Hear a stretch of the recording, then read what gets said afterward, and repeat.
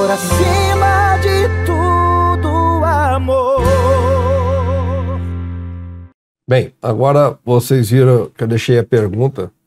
Uh, acho que a doutora Arenilda pode nos dizer é, se a gente é, continua, é, criou esse protocolo dentro do hospital, dos acompanhantes terem a oportunidade de fazer colher a fezes oculta para ver se tem alguns, algum sintoma né, que possa valer. E como é que qual é a porcentagem que a gente colhe para cada mil testes? Quantas pessoas consegue é, ter chance de diagnosticar esse sangue oculto? Então, o exame do sangue oculto é um exame que ele serve como uma triagem, né? Sim. Então, não necessariamente a presença de sangue ali nas fezes significa, significa que é câncer. Isso é bom para né? não deixar ninguém Sim, apavorado. Exatamente. Às vezes faz uma pesquisa de sangue oculto e acha, já estou com câncer, é. né? Não, é um exame de triagem. Então, caso ele venha positivo, pode ser várias coisas. Desde uma hemorroida, né, é. que sangrou. A hemorroida né? sangra. É, mas ele serve como um exame de alerta, né? Veio positivo, ah, essa pessoa deve fazer a colonoscopia para tentar investigar se tem algo ali no intestino que esteja sangrando, que pode ser algo benigno ou pode ser já uma, um pólipo ou até uma lesão inicial de câncer. Né? Então, é, o, a pesquisa de sangue oculto é um exame mais simples, né, que não vai precisar fazer. É uma coisa barata também, é, exatamente, né? É. é uma coisa que o governo podia incentivar isso em termos de ser o custo muito baixo, né? Sim. Sim, exatamente. O que é, já participei de algumas discussões é, com, com grupos aí é, relacionados à questão da prevenção. Eles falam que no Brasil não existe uma capacidade de se fazer colonoscopia para todos os pacientes que têm sangue oculto positivo nas ah, fezes. É? Eles, eles falam que é, não está tão divulgado esse programa de rastreamento porque falta profissional Sim. endoscopista que faça o exame. Então, se a gente fizer na população todo mundo que tem mais de 50 anos, e aí vai vir um monte de casos de é, sangue oculto positivo, que não vai ter o profissional e a máquina para fazer para todas as pessoas, né? Então, esse é um dos problemas que a gente enfrenta aqui no Brasil para difundir realmente o programa de rastreamento de, de câncer de cólon, como é, por exemplo, para colo, uterino, que é um exame mais simples, né? Só faz uma coleta ali do Papa Nicolau, é, é, é algo que já tem até automatização para fazer a, a, a, análise, né? É, para câncer de cólon é um pouco mais complicado, né? É, mas países desenvolvidos já têm um rastreamento muito maior do que a gente tem no Brasil, né? E a gente tem que lutar para que isso qual, aumente qual a porcentagem que, que poderia dizer assim? Eu sei que tem estágio 1, 2, 3, 4 nesses estágios. Sim. A porcentagem no, no câncer na, na, que, eu, que conseguiu tirar essa verruguinha na, na prevenção, ela oferece 100% de cura. 95, isso. sei lá. Isso, isso. isso é, é uma pergunta e, importante. E, é, e depois qual a porcentagem do, do câncer instalado que cura de intestino? Quanto Sim. que é? Isso é uma pergunta importante. É, basicamente isso serve para todo tipo de câncer, né? Quanto mais inicial, Sim. mais no começo, maiores as chances de cura. Sim. No caso do intestino, nós podemos ter até 90, 95% de cura em pacientes do estádio 1, que é aquele estágio bem inicial, né? E isso vai. Que pegou no exame de prevenção. Na, isso, fez o diagnóstico na colonoscopia, retirou aquele pólipo que já tinha uma, já era maligno, ou então ele foi para uma cirurgia de uma lesão muito pequena, né? E ele foi classificado como estágio 1 ou 2. Então são os estágios iniciais da doença. A partir do estágio 3, que é aquele tumor mais avançado Agressivo. no local, e já com alguns linfonodos, que são pequenas ínguas em volta do intestino, né? Aquele tumor que já saiu do intestino, aí a chance de cura já cai em torno de 50%, 40%.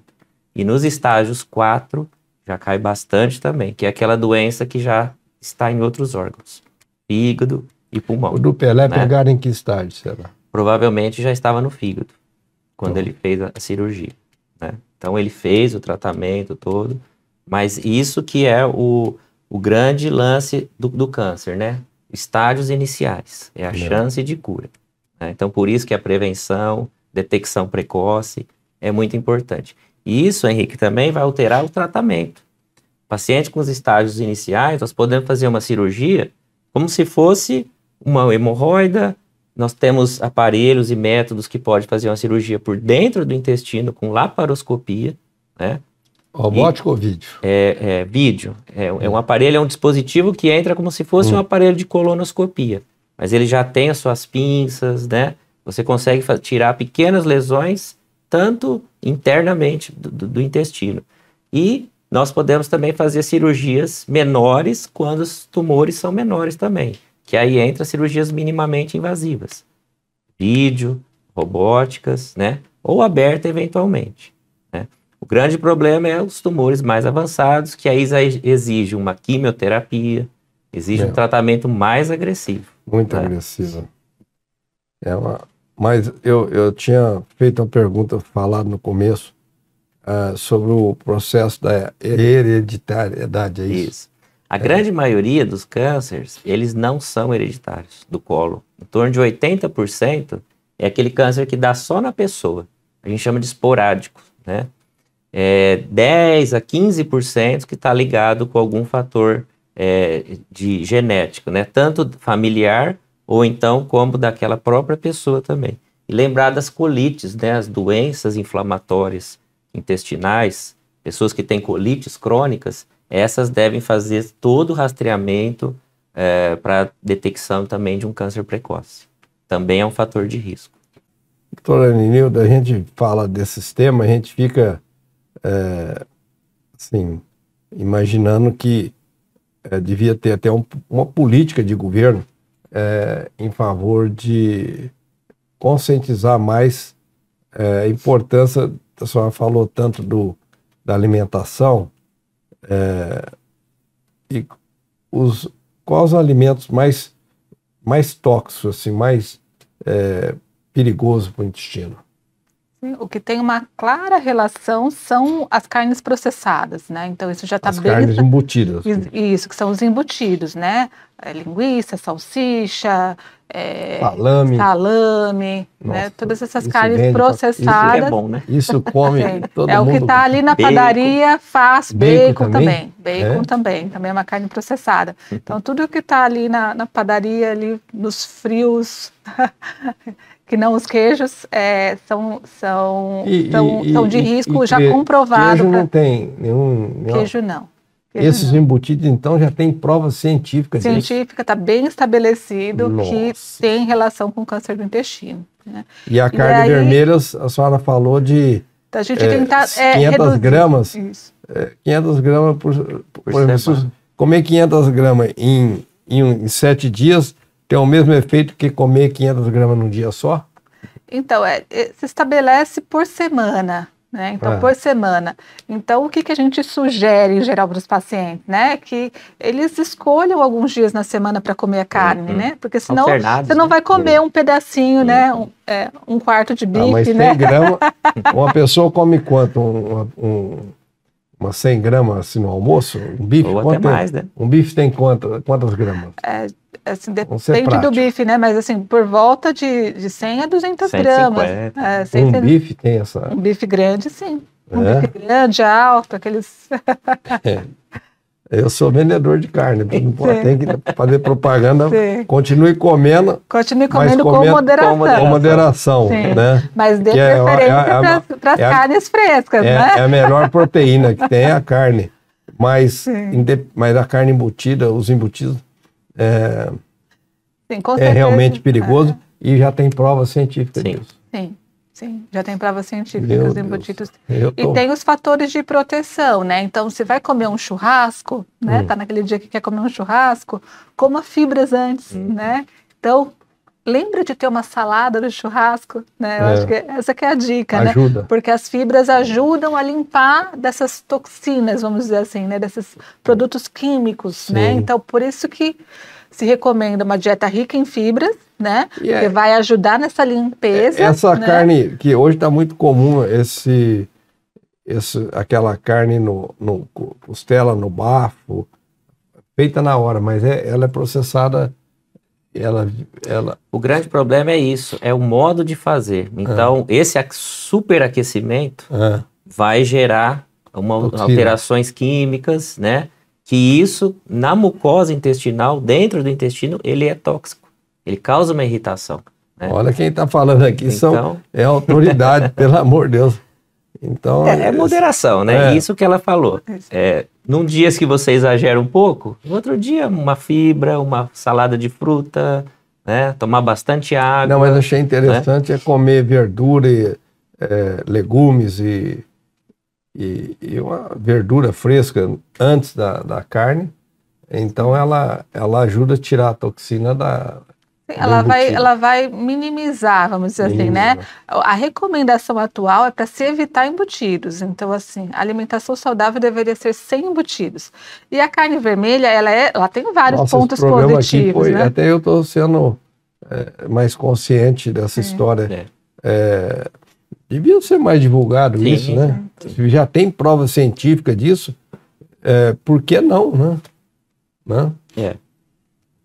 E eh, estilo de vida saudável envolve tudo. Então, cigarro também está comprovado a relação até com câncer de intestino. Uhum. né? Excesso de bebida alcoólica também, câncer E de o, e o intestino. vinho? Tudo que se for em excesso Né? também é um fator de risco. né? Então, assim, é, o câncer de intestino hoje está mais que provado que é seu estilo de vida. O que você se alimenta, o que você faz, como você vive. Por isso que nós temos esse reflexo hoje. Um aumento de número de casos, muitos casos em jovens, né? Nós recebemos pacientes aqui abaixo dos 50 anos, praticamente toda semana, com câncer Meu intestino, e às vezes até casos mais E, avançados. e antigamente não era assim. Não era assim. Não era assim. Isso é uma tendência mundial. Por isso que eu acho que esse, eh, toda essa consci- conscientização, essas campanhas têm que ser feitas para os pais. Já a criança já começar a ter um hábito de vida Ah, saudável. na escola. na também, escola. né? é. Sim. Exatamente, né?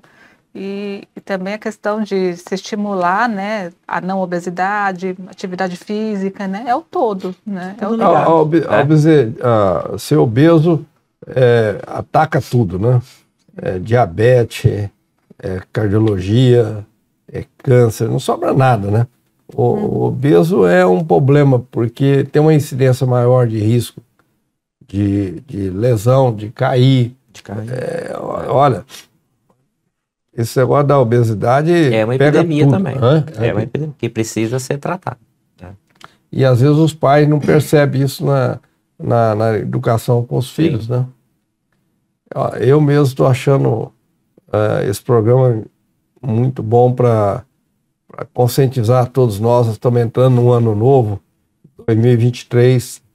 eh, a gente, todo ano a gente tem que procurar crescer na sabedoria, né? A sabedoria é uma coisa que a gente tem que pedir a Deus que deixa cada, cada, cada momento que a gente vive um pouco mais, que a gente não seja tão ignorante quanto eh, antes a gente era. Por isso que eu acho que esse ano é um ano de abrir forte essa campanha. eh, o mês de março, nós podemos fazer alguma coisa eh, ainda nesse mês de março. Eh, nós estamos aqui falando para esse programa vai ser bem eh, final de fevereiro, mas a gente poderia fazer alguma outra forma de eh, colocar em tudo que vai acontecer no mês de março essa consciência. Não sei como eu vou pedir para o Marte aqui, a produção, fazer algo que lembra das pessoas de fazerem a prevenção de câncer na, no- dentro do rigor, dentro dos protocolos Sim. que o Hospital do Amor, que é preconizado no mundo inteiro, código do mundo inteiro, mas nós vamos falar mais disso no terceiro bloco para ver o que nós podemos contribuir mais para essa consciência. Por assim